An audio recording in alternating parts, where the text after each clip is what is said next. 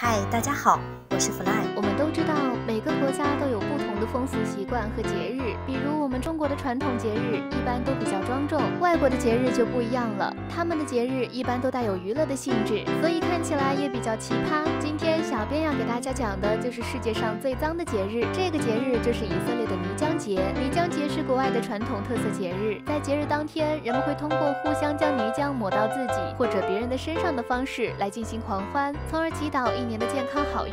其实泥浆节并不是只有以色列才有，在世界上还有很多国家都有泥浆节，比如具有日本千叶县岛田里举办的泥浆节，还有韩国海水浴场的泥浆节和美国的泥土日。虽然这些国家的泥浆节也很激烈，但是还是比不上以色列的泥浆节。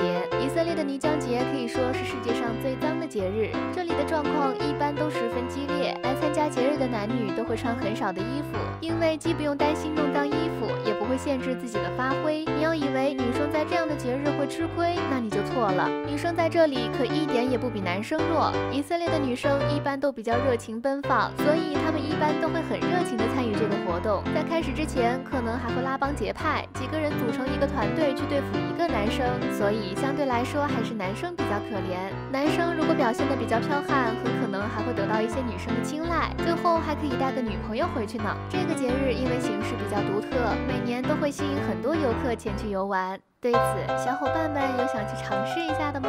好了，本期视频就到这里了，我们下期见。